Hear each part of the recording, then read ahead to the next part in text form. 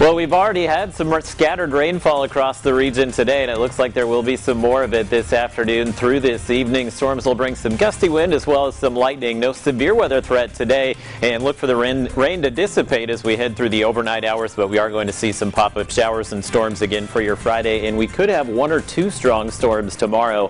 I'll have the latest on that a little bit later in the show. That's a check of your Todd Shores McLarty Ford forecast first. Local midday begins right now. Now, from your community, local news that matters. This is NBC 6 News Local Midday Update. Louisiana's stay-at-home order expires tomorrow, thus beginning phase one of the reopening of the state. Good afternoon and thank you for joining us on NBC 6 Local Midday Update. I'm Fernanda Hernandez. We take a look now at the most updated coronavirus numbers here in the Pelican State. The total number of cases is now over 33,000. That's 827 new cases. That death toll is now standing at 1,193. Caddo Parish claiming over 1,800 of those cases and 144 deaths, according to the coroner's office. Now, we don't want you to be alarmed by those numbers. Louisiana Governor John Bel Edwards assures us that those numbers are so high because they include mass results from one lab dating back to March. He says the real number of cases is much lower. 609 of those 827 cases actually came from that one lab. So if you if you take and, and look inside the numbers, uh, the the real number of new cases uh, is 218. That's really in line uh, with where we've been over the last uh, several days. And Governor John Bel Edwards is expected to sign the proclamation for the state to enter phase one today. And in the meantime, he urges everyone to continue following safety guidelines. The bottom line is that we want the best guidance possible, uh, obviously not the quickest, uh, and all the guidance will be finalized before I sign the order tomorrow. And Governor Edwards says that the state fire marshal and health department will provide more guidance in the coming days. He insists they're keeping worker safety in mind. And Shreveport City le leaders are also preparing for the first step in our community's recovery. NBC 6's Jenna Jordan shares how this transition will impact the people who live and work here. The last thing that we need or anyone wants is to see a spike in cases and hospitalizations during phase one that forces us to close down and go backwards. Shreveport Mayor Adrian Perkins encourages people to continue to be cautious in the face of the coronavirus. COVID-19 is a deadly and highly infectious disease and currently there is no treatment or vaccine. Because of that, when Government Plaza reopens Friday, Everyone who enters will be asked to wear a mask, and barriers are being installed to help protect employees from the public. Hasn't been an uptick in our area. We're still seeing the rate of uh, spread slow down, but that is only because our citizens remain diligent and we're uh, protecting ourselves. Health officials say local hospitals are prepared for this next phase and are closely monitoring the number of cases in our area. At this time, hospital beds and ventilators are available. Wash your hands, uh, be careful, take care of yourself so the hospitals don't have to take care of you. City leaders acknowledge it will take some adjusting to get used to this new way of life. Think of them not as restrictions necessarily or them hampering your life, but think of them as acts of kindness. And today, Shreveport City Council is expected to hold a special meeting to fill the position of interim representative for District A. 14 candidates applied after previous councilman Willie Bradford retired. Today's virtual meeting begins at 2 p.m.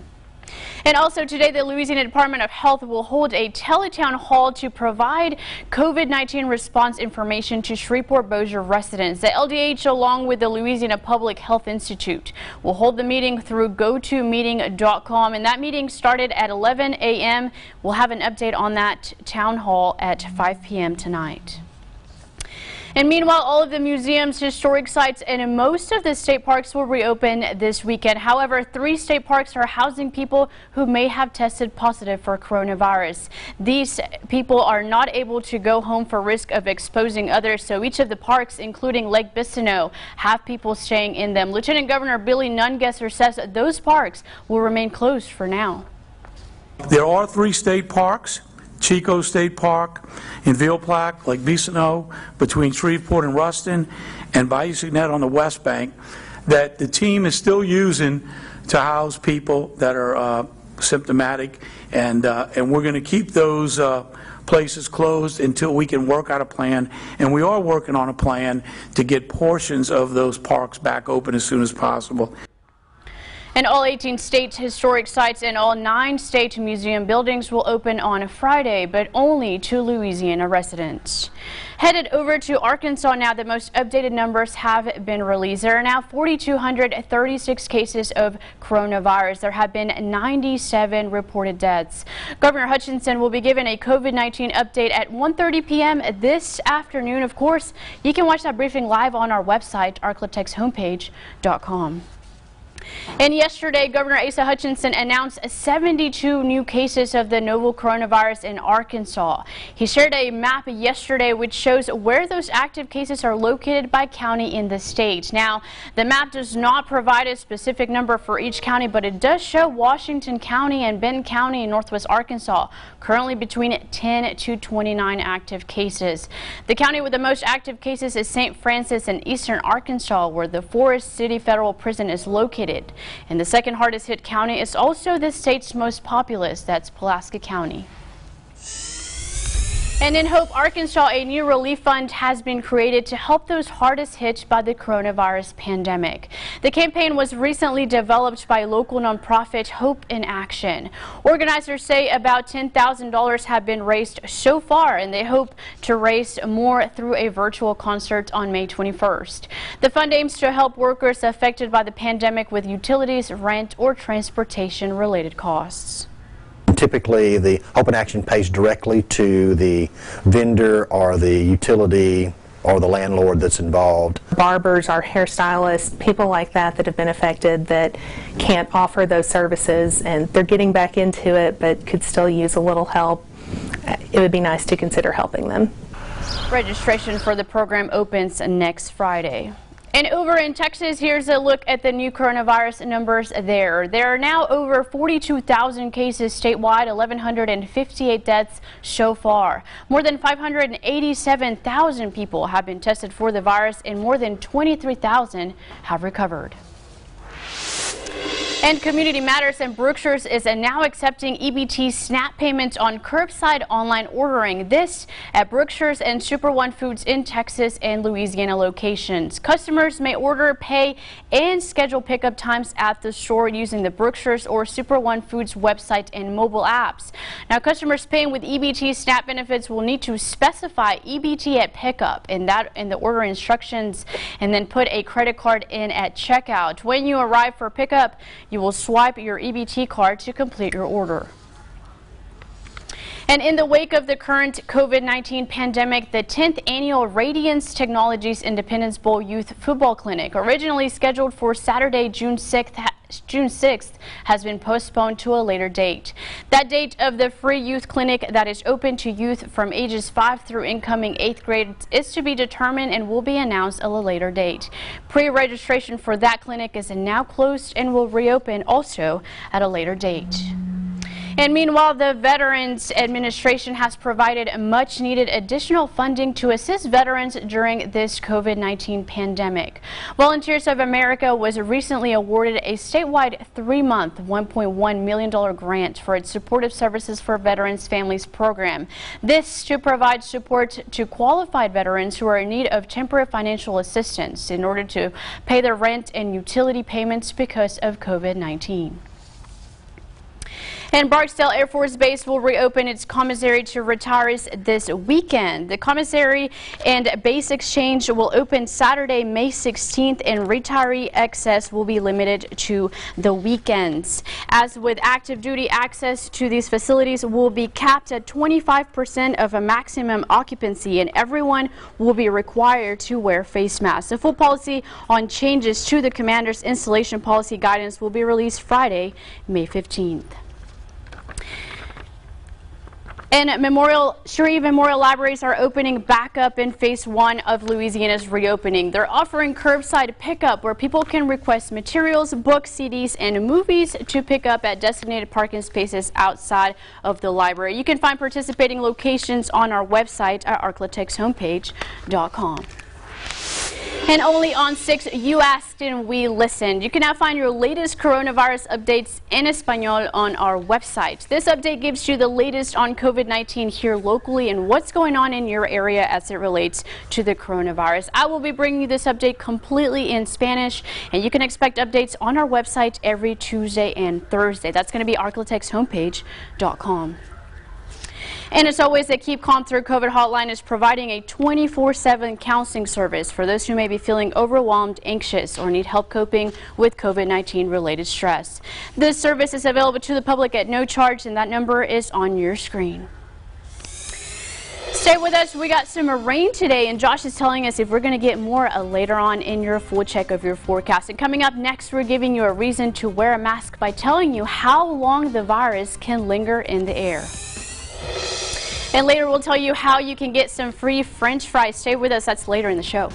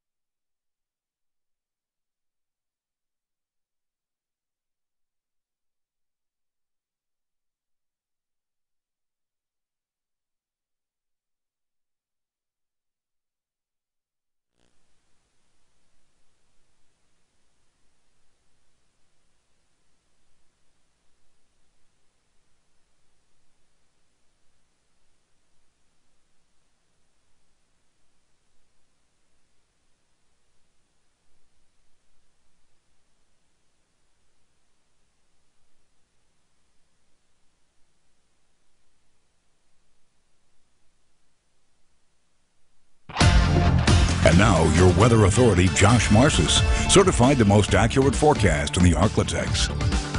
Well, welcome back. Definitely looking at a warm and humid afternoon, and it is the heating of the day today, which is driving some of this rain and thunderstorm activity. We do have the sea breeze kicking in along the Gulf as well, which is helping to push some of the rain into the region. So if you haven't seen any rain yet today, we will likely see it pop up very close to you this afternoon. So make sure you have an umbrella for any plans this evening. And due to the heating kind of driving these thunderstorms, once we hit sunset tonight, we'll see most of this activity come to an end. Lows tonight rather warm again as we'll be close to 70 degrees. So here's your Robins Toyota Futurecast. It does show the rain kind of lifting to the north here as we go through the afternoon hours. I'm thinking it will be fairly widespread as we have a fairly strong sea breeze across the region today.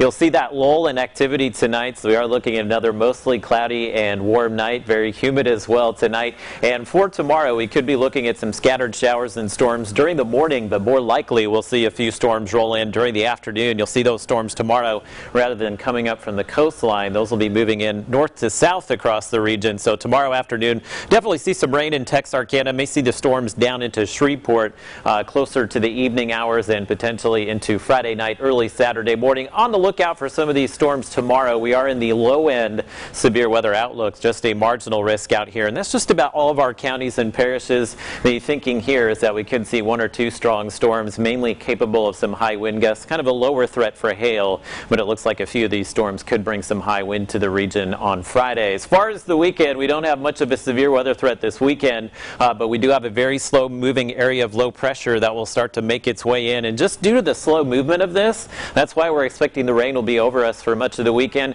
We'll come through in a few different waves, so there may be some dry periods this weekend, but it looks like the heaviest rain will fall kind of late Saturday into early Sunday. If there's a bit of good news with the forecast today, it's that this area of low pressure will start to scoot through a little quicker than anticipated. So yesterday we had rain chances sticking around through the middle of next week. It looks more likely that we'll see the rain come to an end now some point late Sunday into early Monday. So we should have some sunshine to help dry us out early next week. A look at your rainfall totals could see some 2 to 4 inch accumulation south of I-20. Uh, due to the rain falling to the south of us, we likely won't see any rises on our lakes and rivers, but we could see some roadway flooding, especially late Saturday. So that's one thing we'll be watching for you as we continue through the next few days. Seven day forecast, warm temperatures through the weekend despite the rain as we'll run in the 70s and 80s. North wind returns with sunshine next week, so the north wind will push the humidity out of here. It will be warm.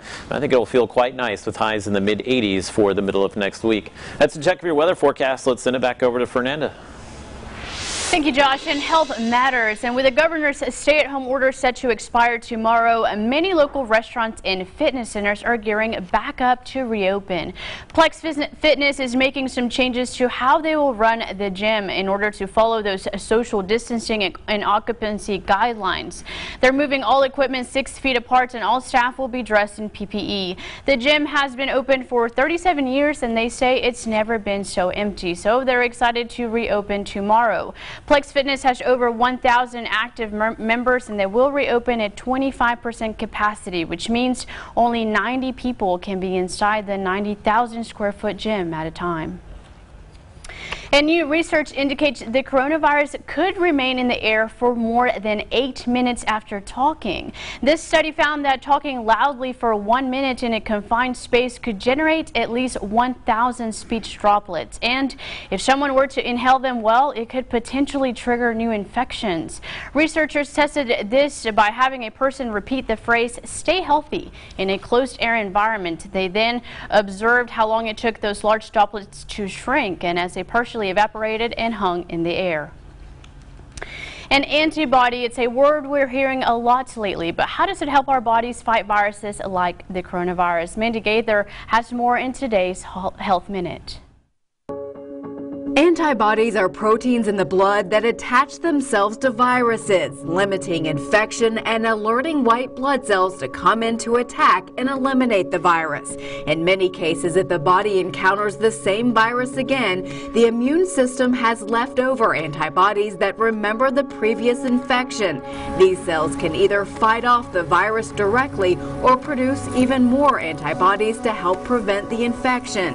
Dr. Sanjay Gupta says research Researchers aren't entirely sure why this process works so well for some viruses and not others. There are some viruses that our immune systems seem to easily forget.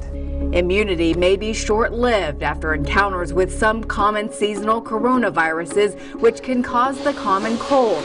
That could explain why we repeatedly get sick with something as simple as a cold, and some viruses like the flu mutate frequently, which means our old antibodies no longer work against new strains.